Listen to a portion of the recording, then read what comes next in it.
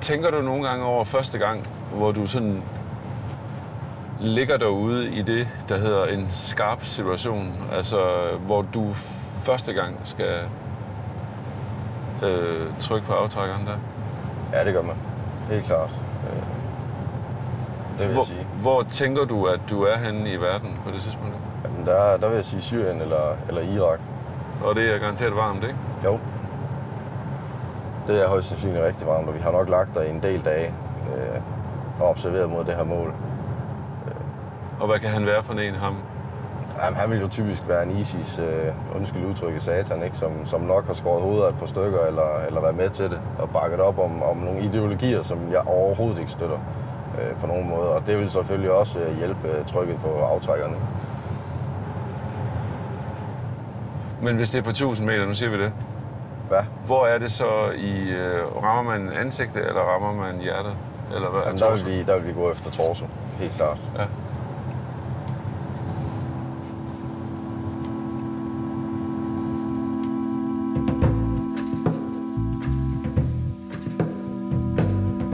Et drømmejob har mange nuancer. Hvad med et, hvor man skal snige sig ind på en mand, man ikke kender, og så skyde ham? Det er det job, pladesmeden fra Midtjylland vil have. Sammen med 14 andre udvalgte soldater er han ved at uddanne sig til finskytte, som det hedder i den danske hær. I udlandet siger de sniper, altså snigskytte. Træf! Med en skarplat sakuriffel, en kikkert og en håndholdt værstation skal han erkende et mål på lang afstand og tage ham ud, som det hedder, på de kanter. Siden midten af 90'erne har Danmark været i krig. Selvom vi stadigvæk slås lidt med selvforståelsen i retningen af, at vi kun er lidt med, kun dræber lidt og er særligt hensynsfulde. De danske finskytter, de ved noget andet. I fire dage er vi med omkring det næste kul op til deres eksamen, for at forstå, hvad det egentlig kræver at være den, der så ultimativt dræber i en højere sags tjeneste.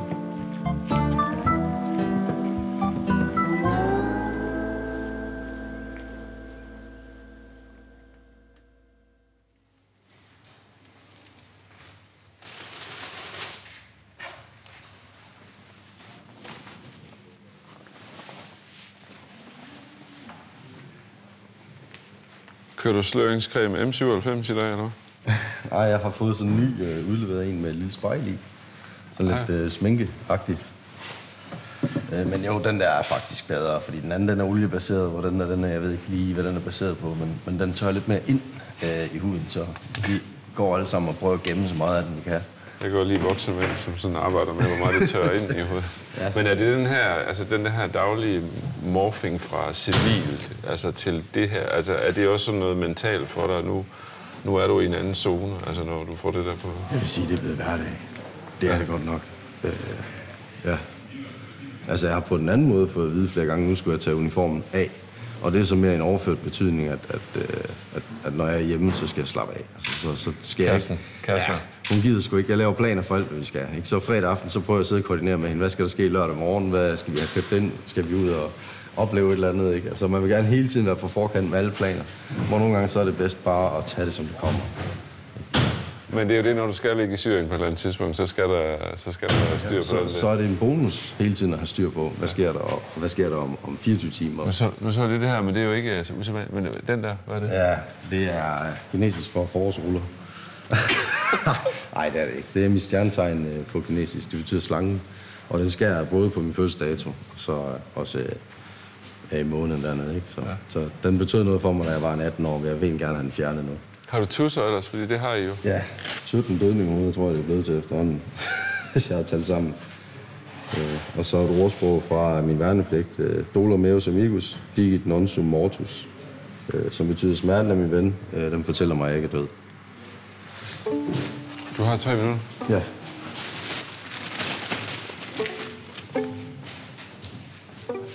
Lauke passer ind i skabelonen for en finskytte. Uddannet pladesmed, flere års erfaring som soldat og med to udsendelser til Kosovo. Inden han står her, på vej ind i et 10 år langt og intensivt uddannelsesforløb, er hans skydefærdigheder blevet krydstjekket, Ligesom hans fysik og psyke er blevet vurderet, er der små udsving og moskéer, så er han her ikke. Morgen, gutter. Godt. Dagens program, Stalking, HSI, GSI. Øh, som nævnt, lidt strammere program i dag, så kun lige en øh, to timer og kvarter per øh, run. Øh, og så ellers 18-22 aften, Mobil Ops og OP med Shabalabas. Nogle spørgsmål? Vi ses ud.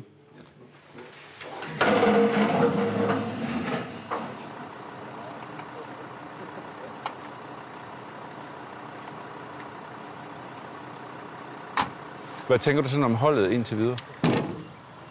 Det er et rigtig godt hold. Det er meget blandet, ja. men man kan sige, i forhold til tidligere, hvor vi havde Afghanistan, og før det havde vi øh, nogle andre ting, der, der kunne man forvente lidt mere ballast, og vi havde også tidligere skrevet, at man rent faktisk skal have været udsendt for at blive finskytte, for at fjerne meget af det der øh, stress ved, at mor ikke vasker tøjet. Ja. Men eftersom vi jo ikke har soldater udsendt i den grad længere, kan det være svært at opstille den forudsætning. Øh, Så der er en, del kompromiser hen ad vejen, og, og det gør jo så, at det er nogle lidt yngre folk med knap så meget øh, erfaring og ballast, og det kan jo koste. ja. Så på den yderste dag her, hvor mange af dem her skal stå som finskytter?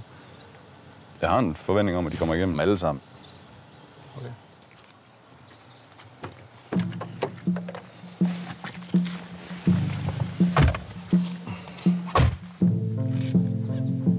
Skal I høre, I får lige et uh, hurtigt scenarie. I skal støtte øh, underafdelingens fremrykning igennem uh, skov. I skal bringe jer selv i stilling, så I kan virke ud i det åbne område. Herude, med det formål at uh, nedkæmpe uh, de mål, som måtte være en trussel for dem, inden de trækker ud i det åbne område. Okay? Det er godt. Gør klar. Og de to første, de er klar om 5 minutter. Det er ikke bare fyreaftenslader. De bedste finskytter kan ramme kirurgisk præcist på uforståelige afstande, uanset hvor meget pulsen dunker, uanset hvor nervøse de er. De kan og skal observere et mål i dagevis uden at blive set. Tit føler de, at de kender den mand, de lige om lidt punkterer i deres kikkert, kender hans dagligdag, 800 meter væk måske, Det er godt han ved til gengæld intet, før det er for sent. Længere, længere fremad. Længere fremad. Følg venstre. Du må skyde. Venstre. Følg venstre.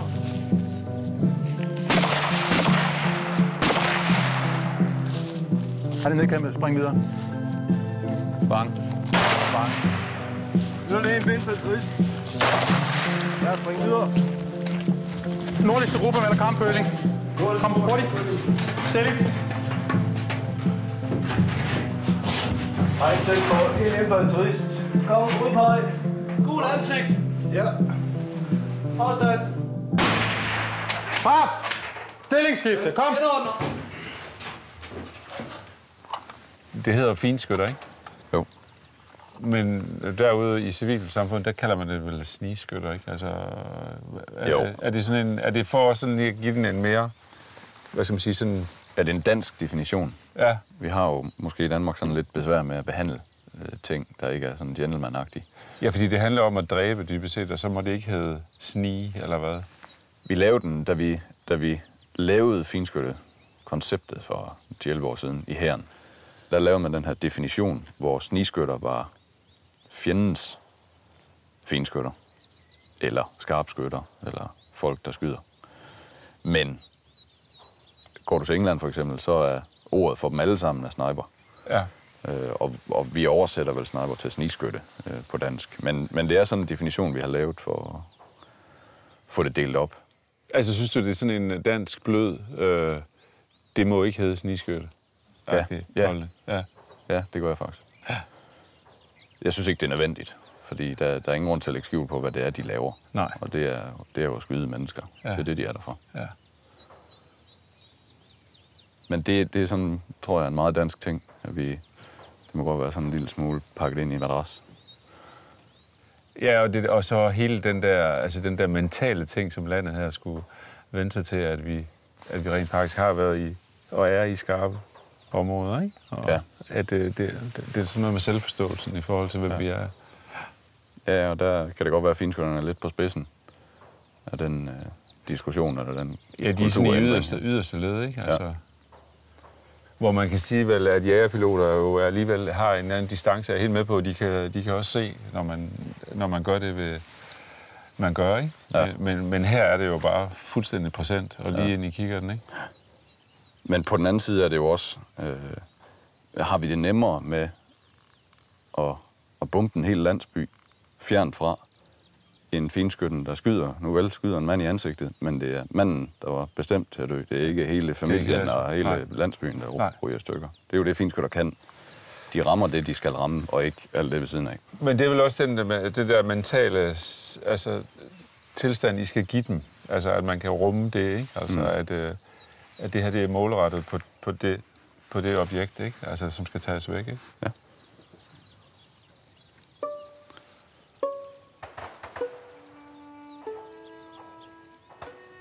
Der er ikke meget Sniper Street i Sarajevo eller Helmand-provinsen i Afghanistan over øvelsesterrænet i Jylland. Taliban-krigeren i kikkertsigtet er en skydeskive. Der er ingen fjender i baghold, og solen koger ikke nådesløst ned. Men Hans Lundgaard og flere andre finskytteinstruktører, de kan sagtens genkalde de skarpe situationer. De ved, hvad det vil sige at ligge der og se fjenden i øjnene og skyde ham. Prøv at se den her liste hernede over... Er det sådan en greatest hits over finskytter, eller hvad? Ja, det er, det er 10 finskytter, som har betydet meget i historien. Kan du pege på en af dem her, hvor du, som du har sådan en, som du synes er Ja, Simo Haja? ja. The White Death. Finsk, ikke? Jo, Hvor mange har han taget? over 500. 790, 705 ja. bekræftet. 500 øh, og 200 med maskingevær. Så 705 i alt. Og det vil sige, at altså, dybest set har fjenden bekræftet, at han har lagt dem ned, eller hvad? Eller det... Nej, jeg tror sgu ikke, russerne har bekræftet, at øh, han har slået så mange ihjel. Men han har fået bekræftet, at han har slået så mange ihjel. Okay. Og en enkelt kvinde? Og en enkelt kvinde. En russer. Pavlichenko. Ja. Ja. Er det også registreret, hvor mange altså confirmed kills, der er omkring øh, dig? Øhm, nej, det tror jeg sgu ikke er registreret nogen steder. Nej. Fordi, Det kan jeg ikke forestille mig, der er. Fordi det gør man ikke i... Det, der har vi ikke tradition for at gøre, Nej. nej. Har du selv bud på, hvor mange det kunne være? Hvor mange jeg har været med til mm. som fører? Mm. Jeg har, og det vidste jeg også godt, du ville spørge om, men, øh, men det har jeg ikke tænkt mig at dele med nogen andre. Nej. Mine børn måske på et tidspunkt. Ja. Fordi det er så enormt konkret. Ja. Ja.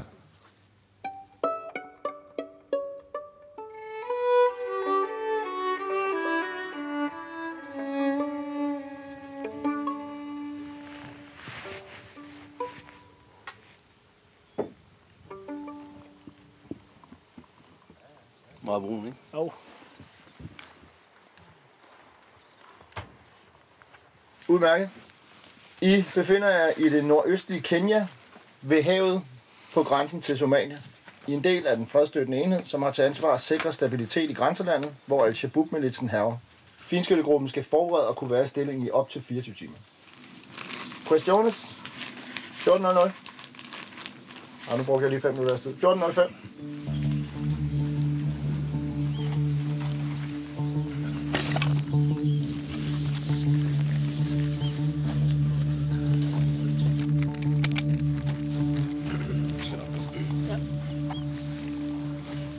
var i Kenya nu, bare lige så I ved det. Med grænsen op til Somalia. Ja. Og de vil gerne have nogle våben ind i, i en container. Ja, det skal vi så gerne sætte en stopper for. Ja. Således vi kan bevare vores øh, placering for Kenya. Men det ligner også næsten Kenya.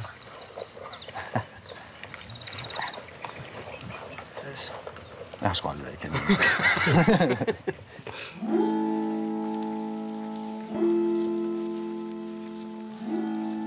For det følsomme øje og på behagelig lang afstand, kan det være svært at forstå, hvordan man kan slå et andet menneske ihjel, sådan bibelsk og helt lavpraktisk, og leve med det. Men i krig ophæver vi et samfunds normale regler og love. Krig har sit helt eget defineret regelsæt.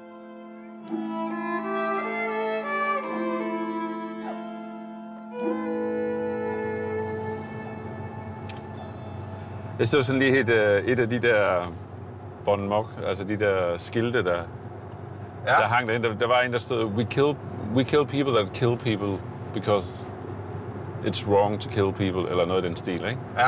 Er det sådan, øh, det er jo sådan lidt gajol-æske-agtigt, ikke? Men er det sådan, er det sådan, at det er et nødvendigt mindset, at man, at man skal hele tiden holde fast ved kernen i, at dem jeg på, i dit tilfælde 1300 meter væk, kan se og tager ud, det gør, det gør jeg i en større sag. Nå, ham tager jeg ud, fordi han er en trussel. Ja. Konsekvensen ved, at jeg ikke gør det, den er, den er nogle gange uoverskuelig. Ikke? Og, det, og i den der, i den, i den fase der, der er det jo, altså, det der du siger, der er det, der, den, sådan det højere mål i forhold til, hvad er NATO's øh, rolle i Afghanistan og sådan noget. Det er, jo, det er jo ikke det, man tænker der, vel? Det er sådan helt fuldstændig lavpraktisk. At hvis ikke han bliver fjernet ham der, så, Ja. ja. så er der trus. Ja. Ja. Det afhænger, altså vi arbejder jo under forskellige, øh, øh, hvad hedder det, rows, altså rules of engagement. Ja.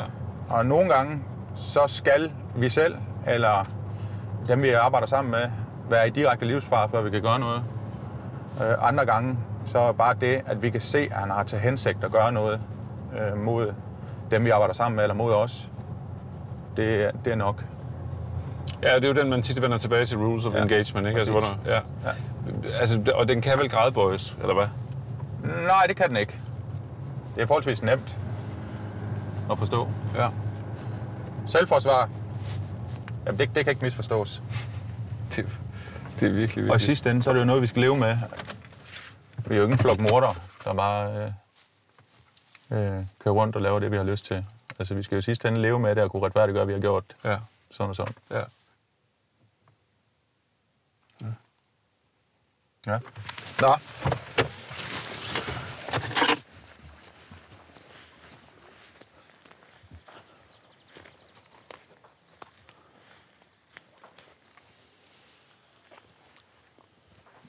Og vi er enige om, at nu skal de ramme et mål, som er 600 meter ude, ikke? To. Godt. Ja. To mål. Og, og vi er dybest set i Kenya, ikke?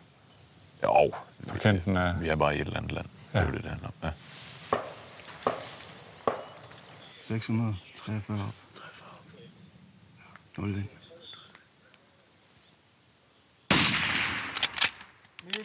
Uobserveret. Halv mål ned.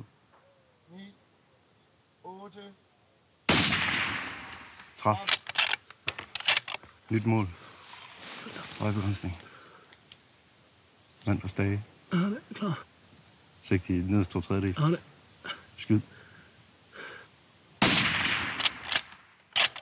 Ikke skyde mere. Aflad. Vi har nedkæmpet øh, et mål. Langs øh, venstre begrænsning, 600 meter ude. Og mis på mål ved højre begrænsning. Det er 6-0. Undtaget i noget frigas. Når de kravler herfra, de to der, er de sådan lidt... Ah, ja, det er de. Det er jo, det, alt sammen er jo lige meget, hvis ikke du rammer. Fordi 600 meter er, er en nem afstand for dem under de her vindforhold. Men en eller anden er blevet taget ud derude. 600 meter ude. Yes. I andet hug, hvis man har det. Og hvor meget er der tilbage af sådan en, der bliver ramt af sådan en her? Af et projektil, som det Der er meget tilbage af ham, der var hul i ham. Altså, er det et stort hul, eller hvad? Det er et lille, meget lille hul. 8,6 mm. Åh, oh, men er det, det sådan, det er? Ja. Der er ikke, det er ikke fragmenterende ammunition, vi skyder med, så der er ikke sådan en dum-dum-effekt, vil man måske kalde det, hvis man er meget civil. Øh, med et stort hul på bagsiden og sådan noget. Det foregår ikke. Men de vælter bare. De vælter, ja. Lille hul på forsiden, lille hul på bagsiden. Interessant.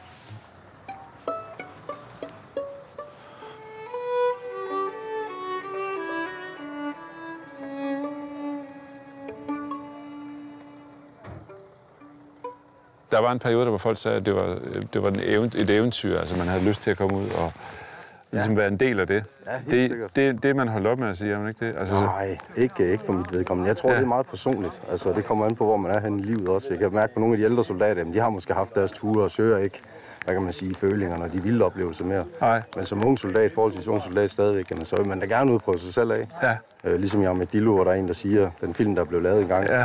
øh, det der med at træne til kamp, men aldrig komme ud og spille den, ikke? det kan godt Ja. være frustrerende. Men kan du godt have den der, altså hvis du kommer til at ligge derude og skal tage den her mand ud, ikke? Ja. Og ramme ham og fjerne ham. Øh, vil du stadigvæk kunne, øh, kunne, vil du kunne mærke, om det er for dig selv, eller om det er for en højere sag, der hedder Danmark, som er, som er, er i Afghanistan eller Irak? Det, det vil være for opgaven, For og så for kammeraterne. Ikke? Altså, Ja. Man beskytter jo nogle kammerater ved at tage ham her ud. Lad os sige, det er en, der skal ud og lægge en idé, altså ved at springe os i luften, Ja. når vi kommer kørende. Det er jo typisk det, vi lægger os ud og, Ja. og holder øje med. Men altså, så vil det være for opgaven. Ja. Øh, Og det er svært at stå her, jeg er stadig ung soldat. Jeg har ikke taget min første skud på en mand endnu. Nej. Så altså, at vide, hvordan følgerne vil være efter, det, ja. det kan jeg simpelthen ikke svare på. Men, men jeg kan dele det op i en boks nu, der gør det håndterbart for mig selv. Så sige, at det er opgaven, jeg ligesom beror på nu, ikke? Og, og den skal vi bare have løst. Og boksen, det er inde i dig, eller hvad? Ja, Ja. ja, det er det. Man skal føle det, man gør rigtigt, og den sag, man kæmper for er rigtigt. Altså, hvis jeg nu mente, at Danmark og vores politikere ikke var i den rigtige retning, så ville jeg nok ikke være med i det her. Nej. Så ville jeg nok tage et andet sted hen. Ja. Tilbage og være pladesmed på et værksted. Og jeg har også haft kollegaer, som simpelthen har sagt, jamen, altså efter nogle øvelser, der har været meget realistisk, det her, det, det er sgu ikke, øh, det, det tør jeg ikke. Jeg vil ikke det her i et langt løb. Fordi det kan man mærke allerede der? Ja. Okay. Det, det kan godt skille, skille foran på bugten, ikke? Ja.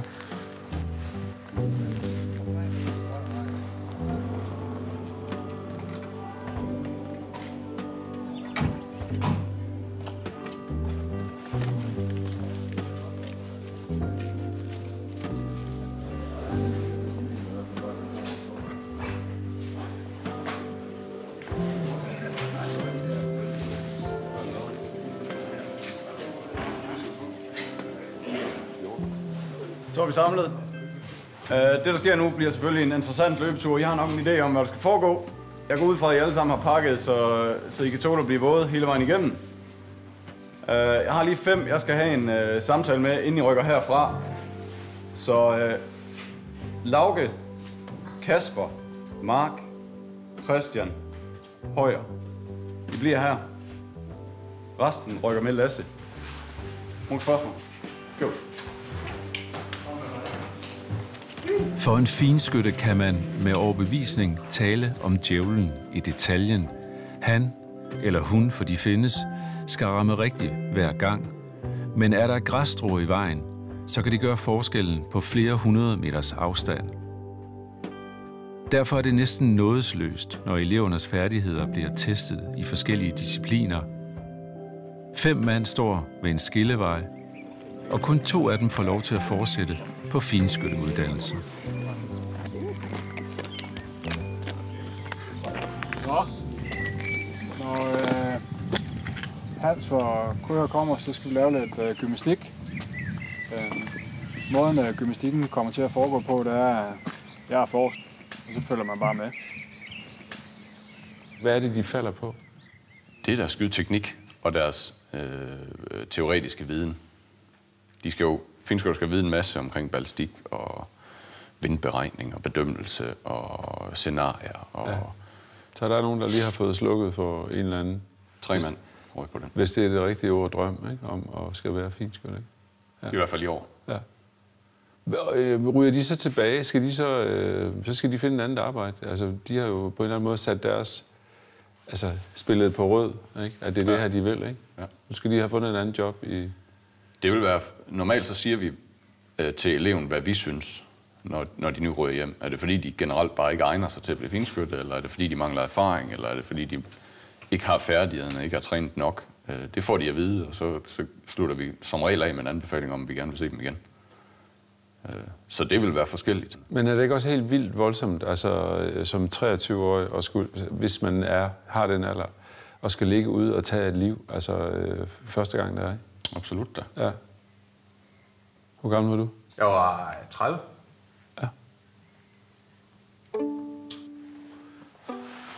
Okay.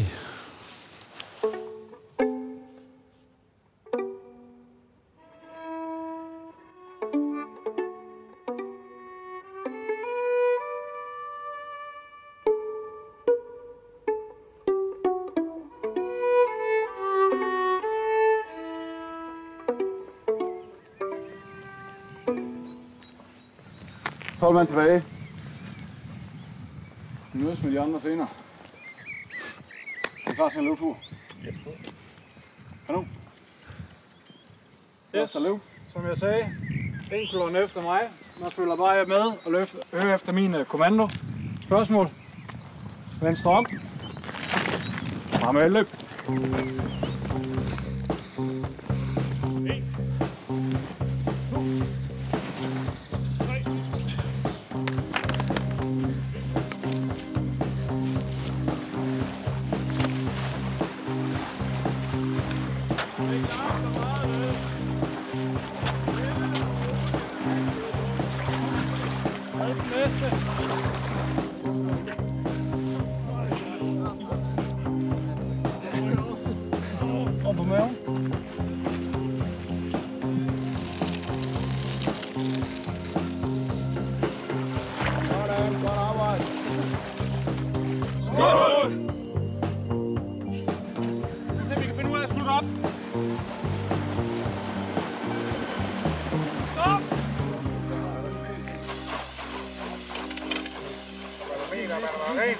Bare videre.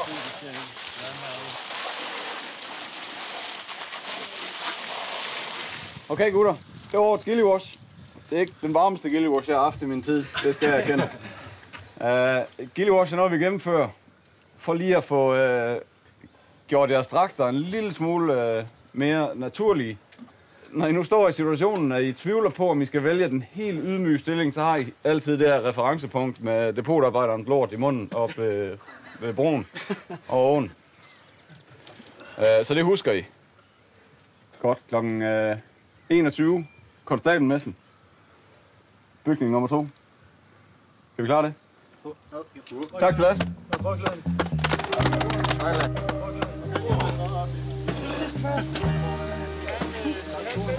Jeg har så meget lort bag ved øjenlåget. Det er helt vildt, mand.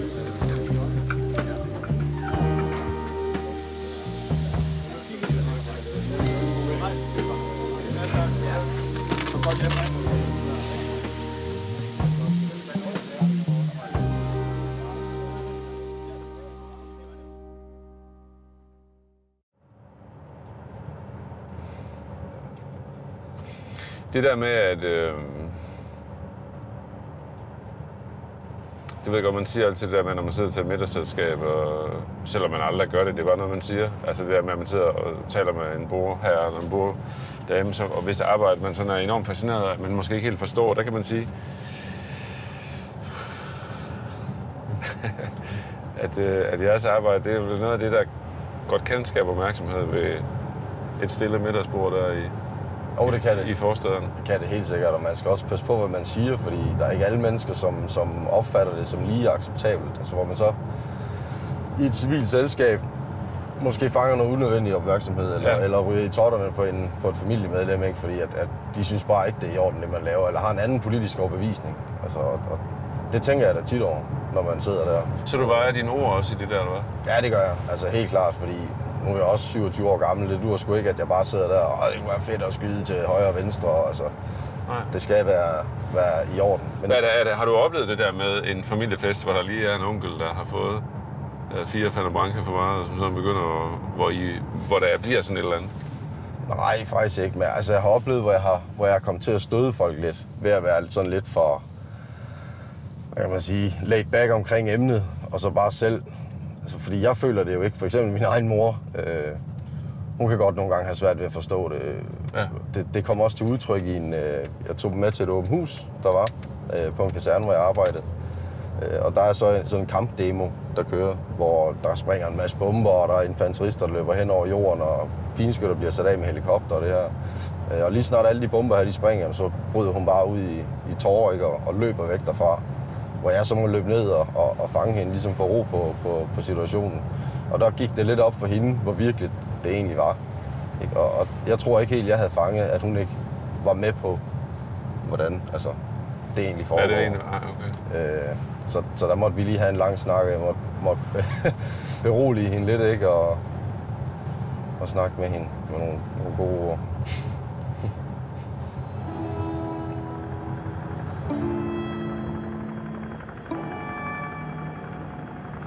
Den danske parmiddagspacifisme har været en hård mesterlærer for at forstå, at Danmark faktisk er en krigsførende nation, at vi gør ting i udlandet. Lidt over 60.000 danske soldater har været sendt ud på internationale missioner siden 1991, og det er ikke alle, der er kommet hjem hele eller i live.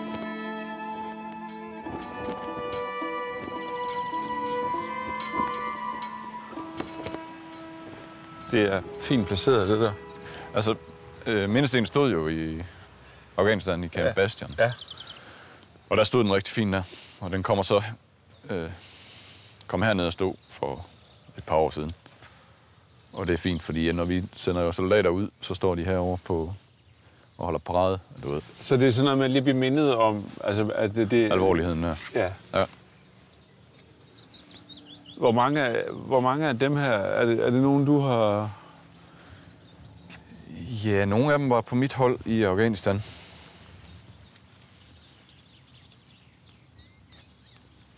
Herfra. Og dertil. De seks, der er døde på mit hold i Afghanistan. Okay. Og de er jo altså ikke ret gamle, vel? 85, 86, 87, 86. Nej, de er ikke gamle. Nogle gange så kan det jo være svært at forstå, at man kan...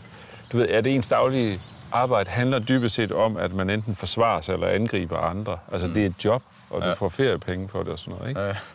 Altså, den, den del der, den, skal, den, den kan bare nogle gange godt være svært at forstå, at man, ja. man ligesom i livslangt i 40 år er i en tjeneste, hvor det egentlig handler om enten at forsvare sig eller angribe, ikke?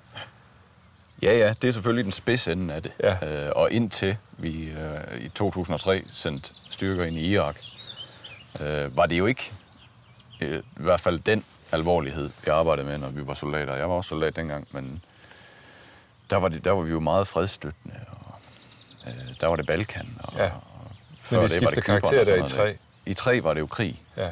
Øh, Det var ikke meningen, det var krig, vi gik ind i. Vi gik jo ind i slutningen af krigen, da det så skulle være freds, øh, fredsskabende. Ja. Øh, men vi havde masser af kamphandlinger. På, jeg var selv nede på hold 1. Øh, det var der masser af, og derefter blev det jo relativt hurtigt i Afghanistan. Men med de der 19. 12. T- øh, soldater og sådan noget der, har, har, har du også siddet dit sted i det her system og tænkt, det der politiske mandat, hvor, hvor velovervejet var det, altså da vi skulle ind i Irak og i Afghanistan? Ja, ja. det gør man. Og hvad er du kommet til der? Jeg var, jeg var helt med, da jeg var udsendt. Troede fuldt og fast på det. Der er masser af ting, som, som er let at argumentere for, at det var vigtigt, at vi var der. Også efterhånden, som jeg blev en ældre, og det kom på afstand og sådan noget der. Man ser ting noget anderledes, når, man, når det er nogle år siden, Ja. end når man er i det, for så er man meget positiv. Men overordnet set, så tror jeg ikke rigtigt, at jeg har forstået, hvad vi overhovedet skulle. Øh, og at vi ikke, når vi så går ind, at vi ikke har en eller anden kriterie for, hvor- hvornår har, har vi egentlig lykkedes. Mm. Og det er, jo, øh, det er jo noget, vi kan lide. Ikke bare på finsk men i militæret. Vi kan godt lide, at ting er målbare. Hvornår øh, har vi succes? Bang, videre til den næste. Ja. Øh, og det har vi jo ikke haft i Afghanistan. Ikke, ikke, det har i hvert fald ikke stået klar for mig, og det er jeg heller ikke sikker på, at det stadig gør. Eller det gør på nuværende tidspunkt. Hvad, hvad egentlig var kriterierne for, at nu er, der, nu er der styr på det, og det er der jo ikke i Afghanistan. Langt fra.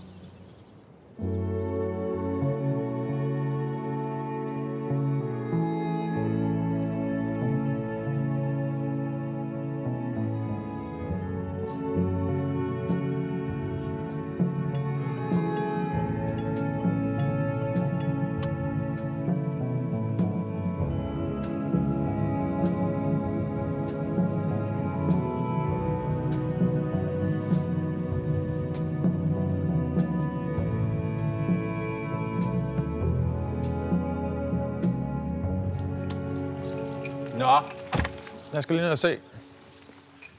Der er skolen over. Ja, den kan jeg lige vise dig lige om et øjeblik. Ja. Jeg skal lige se, uh, om de overhovedet kan bevæge sig hernede. Jeg kunne forestille mig, at de nok bevæger sig heroppe af, og så den vej over. Men det er vel det, de selv skal tage en beslutning om, Ja. eller hvad? Er, det, hvad er opgaven, når de kommer her? Hvad, sker, hvad skal der Opgaven er øh, at infiltrere, og infiltrere det betyder egentlig bare at bevæge sig uset igennem byen. Øh, fra skovkanten herover og i den retning med henblik på at komme i stilling, eller få bragt de her finskudte våben i stilling i bykanten herude, så de kan se ud på det åbne område på den anden side. Øh, og på et eller andet tidspunkt, så dukker der et mål op. Som de så skyder efter? Ja. ja. Okay. Men skolen er ikke det, du troede, det var? Nej, ikke helt. Så det er bare opgangen, man øver der, eller Ja. hvad? Her kan inst- øh, instruktøren stå herude, og så kan han herudefra se, om de gør det rigtigt. Bevæger de sig korrekt op ad trappen, ja. og der er sikring hele vejen op. Det er ikke så nemt, når vi selv står inde i rummene og ser, hvordan de bevæger sig.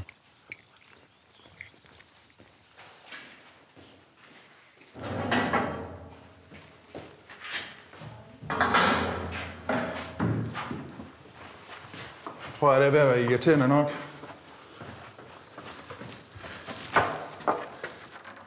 Altså, altså, og det skal man fjerne uden alarm alt for meget også, eller hvad? Ja. Ja. Det skal de. I modsætning til øh, infanterienheder og spejderenheder, så, Som bare øh, banker ind. som bare banker ind, så bevæger vi os lydløst igennem. Men uanset hvor meget, prøv at høre, hvor meget du lægger stole i vejen på trappen, og ja. øh, altså, så må, så, så må, der, der er jo bare en kæmpe forskel på, ja. Altså På her, og- ja, inde på Ja, ja, en eller anden ja. tryg ramme, og til du, som du selv har prøvet, ligger derude Ja. ja. i, øh, i et sug af adrenalin, og at det her, det er skarpt, så det vil noget, ikke? Ja. Altså, den del kan du jo ikke forberede den på. Nej. Øh, nej, det kan vi ikke.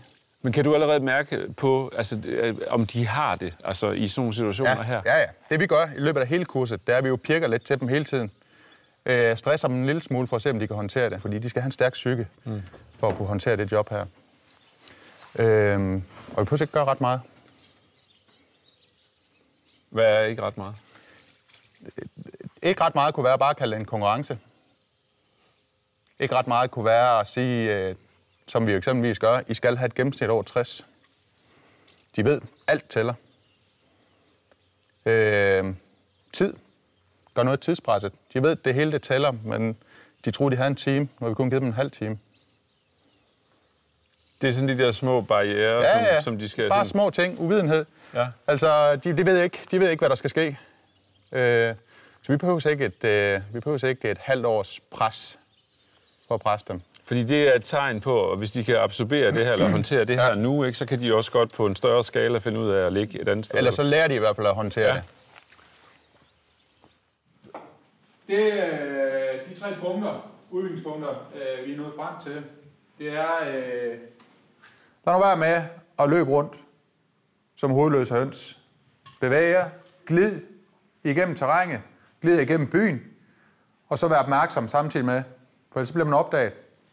Øh, dem, der er og øh, opholder sig i byen, de lægger mærke til alt. De ved, når der er noget, der vender forkert. Så vi kan ikke, vi kan ikke tillade os at ændre på noget som helst. Okay? 10 ugers opslidende træning er tæt på at være overstået, og Lauke og makkeren Ålykke er tæt på at være finskytter. Men før plusser og minuser tælles endeligt op, skal eleverne en sidste gang snige sig ind på fjenden, uden at blive set eller hørt.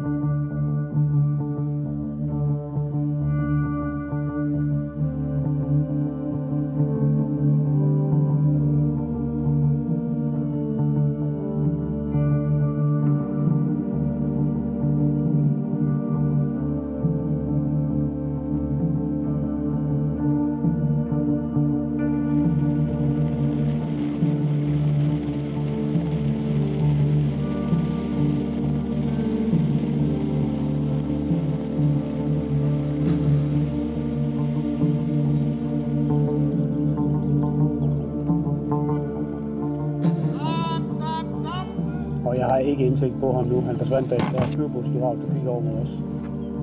Jeg er på bagsiden af ID op. Vent. Ja, det er vinduet overstop. Det er vinduet lige på den venstre side. Øh, sprækken der.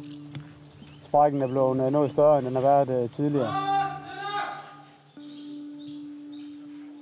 Der er ændring i billedet, og det er den sprække, der er blevet større, end den har været. Vi bliver set heroppe, fordi at, øh, da vi kravler op, så er der en loftslem, der giver lys ind. Og de ser så en skygge i den anden loftslem. for det er bare nok. Altså den ene skygge gjorde, så kunne de se bevægelse, og vi står her jo, øh, så vi er kendt.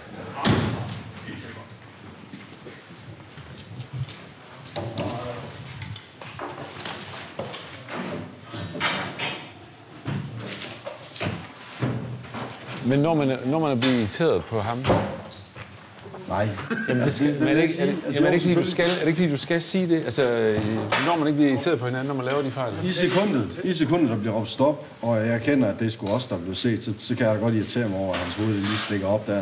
Men når jeg selv ser, hvor lidt det er, altså vi snakker om en spræk på hvad, 5 cm, hvor Ålykke der, han er på vej op for at tage riflen, lige dukker hovedet op i, hvor den fejl kunne, lige så godt, have- kunne jeg lige så godt have lavet. Så der er ingen grund til at stå og lade os irritere på hinanden. Så skal vi bare videre og finde en ny løsning. Men den der irritation, den må heller ikke opstå. For det får vi ingenting ud af. Nu er det jo lige om lidt torsdag, ikke? hvor I lukker... Altså, I, er I sådan fuldstændig overbevist om, at I, I er bestået? God fornemmelse.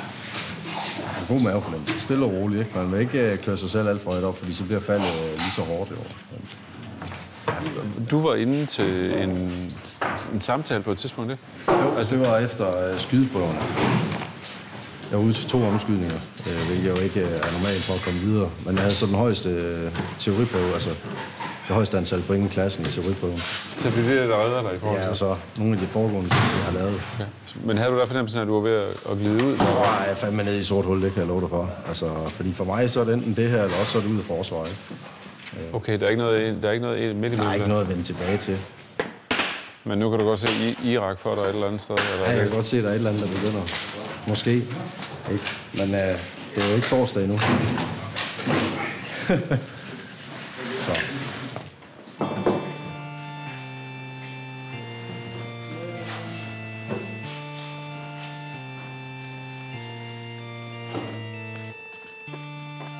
Mens terror og trusler haver Europa, mens Trump og Putin danser deres pussy tranedans om verdensordenen, og mens Danmark diskuterer, hvor meget vi skal investere i forsvaret, så kan 11 soldater nu kalde sig finskytter og indtage deres pladser i hærens værktøjskasse. Lauke bliver næstbedste skytte på holdet. Om han kommer til at ligge derude i bane sol og i et konfliktområde, det afgør en blanding af storpolitik og stratego på international topplan.